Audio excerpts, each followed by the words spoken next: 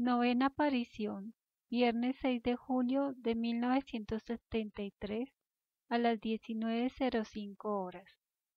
En la capilla Jesús se aparece en el puesto del tabernáculo con las manos extendidas hacia Magdalena, como para acogerla. Le sonríe largo rato con una sonrisa muy dulce y una mirada de maravillosa bondad.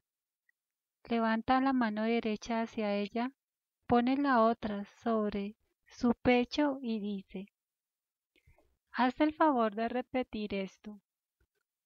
Misit Dominus mansum suam et dixit mihi Spiritu Domini docebis vos qua e cumque dixero vobis. Ve a decir al obispado todas las palabras que yo te he dictado, y la esclava del Señor hablará una lengua desconocida a ella.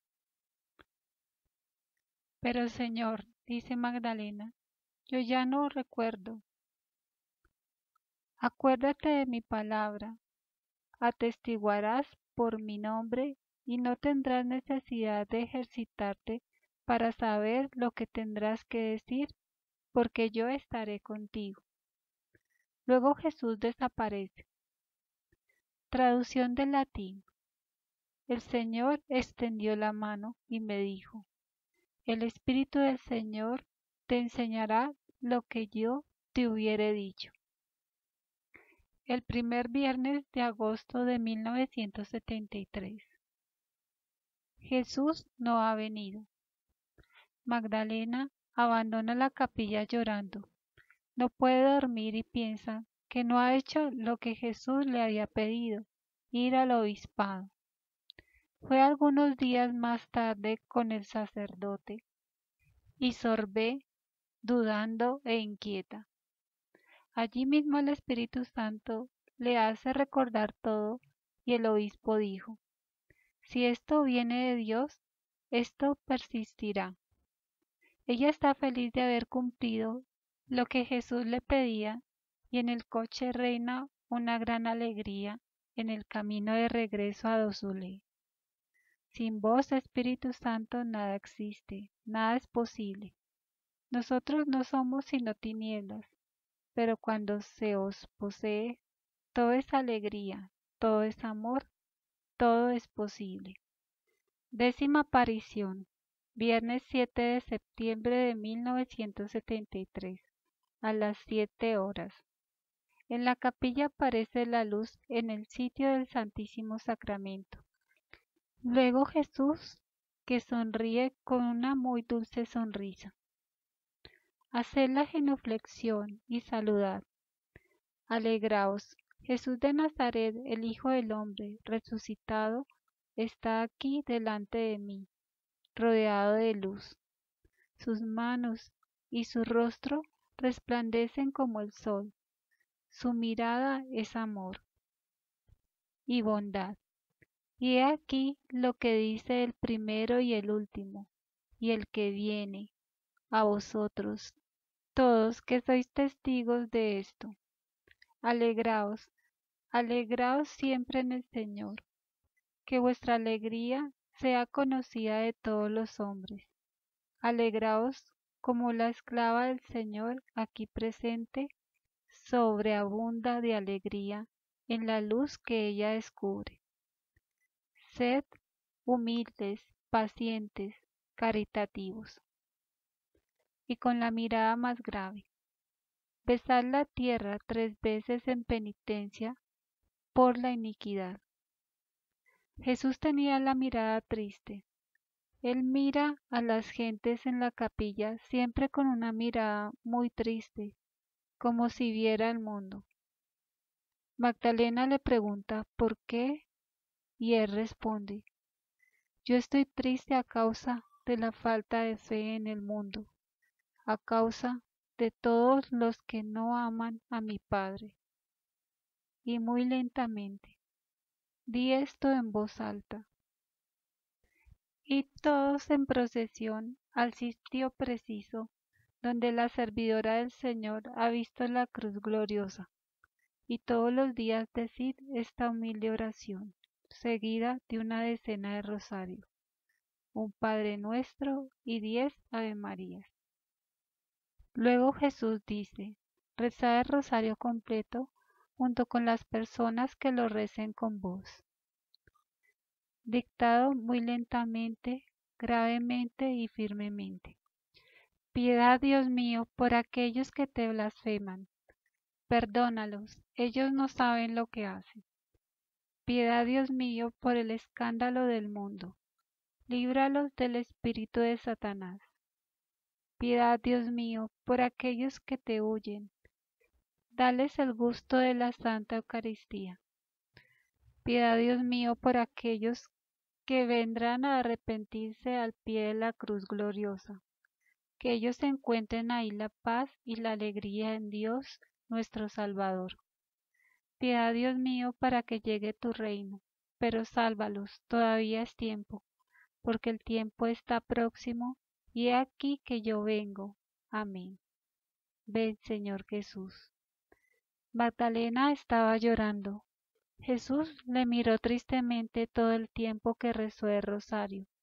Después del rosario, él dijo, Señor, derrama sobre el mundo entero los tesoros de tu infinita misericordia. Haz el favor de repetir esto.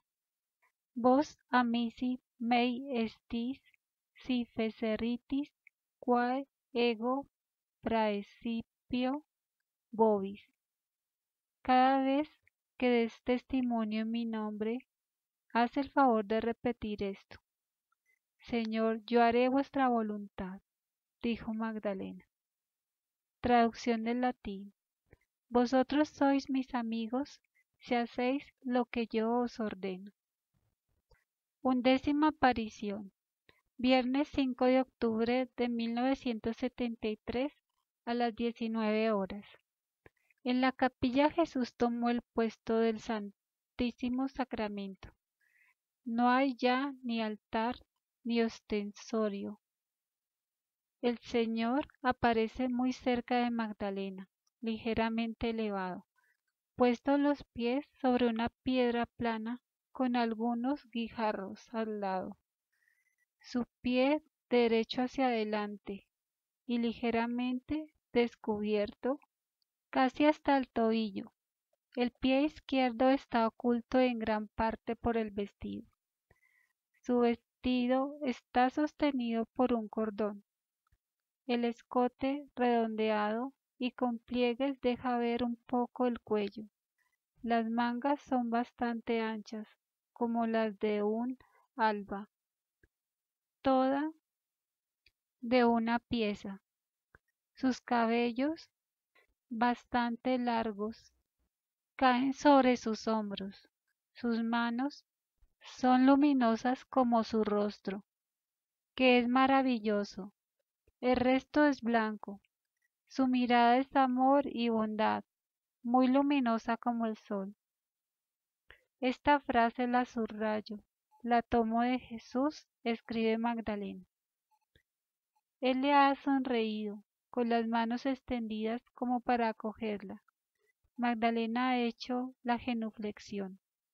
Ha saludado, luego se ha puesto de rodillas y ha hecho la señal de la cruz. Yo la hago maquinalmente, sin que él tenga necesidad de pedírmelo. Es sin duda él quien me la hace hacer. Es necesario que la haga, precisa Magdalena. Él ha permanecido unos instantes sin hablar. Ella admira esta maravilla y él dice, di a las personas aquí presentes que recen contigo la oración que yo les he enseñado, seguida de una decena de rosario. Piedad, piedad, piedad. Aquel que hace la voluntad de mi Padre y come este pan vivirá eternamente en esta luz. Piedad, piedad, ven Señor Jesús. Jesús recita muy dulcemente la decena del rosario con Magdalena, que espera cada Ave María y que escribe. Era tan conmovedor decir este rosario con Jesús que jamás en mi vida lo había dicho tan dulcemente. Luego Jesús dijo, Señor, derrama sobre el mundo entero los tesoros de tu infinita misericordia. Magdalena anota, yo creo que no he repetido esta frase absorbida por la presencia maravillosa de Jesús. Yo permaneceré indefinidamente admirándolo sin decir nada y sin pedir nada. Por lo demás, no hay nada que pedir. Yo no oigo, yo no me muevo. Y cuando Jesús está ahí, yo no estoy más en la tierra. Yo no veo y no pienso ya en nada de lo que me rodea. Ninguna palabra puede explicar lo que yo siento. Se siente la impresión de que en esta luz tan límpida se podría descubrir el fondo del universo o de la eternidad. A todos los que dudan, yo les puedo afirmar que hay todo un mundo distinto del que se ve, y el más maravilloso es el que no se ve. Jesús añade, di esto en voz alta, la cruz gloriosa. Él de un vistazo miró a todos. Continúa, levantada sobre el monte alto, debe ser comparable a la ciudad de Jerusalén por su dimensión vertical. Sus brazos deben dirigirse de oriente a occidente debe ser de una gran luminosidad y con un aire muy grave. Así es el signo del Hijo del Hombre. Haced excavar a cien metros del lugar de la cruz gloriosa, en dirección de su brazo derecho. De allí saldrá agua. Vendréis todos vosotros a lavarros en ella en señal de purificación. A continuación Jesús se ha inclinado hacia mí y me dijo discretamente, sin decirme que lo dijera en voz alta, Estad siempre alegres, no os lamentéis por el cataclismo general de esta generación, porque todo esto debe llegar. Pero he aquí que aparece en el cielo el signo del Hijo del Hombre, y ahora debe cumplirse el tiempo de las naciones. Todos se golpearán el pecho. Después de la evangelización del mundo entero, yo retornaré en gloria. Jesús mira a Magdalena, le sonríe y desaparece.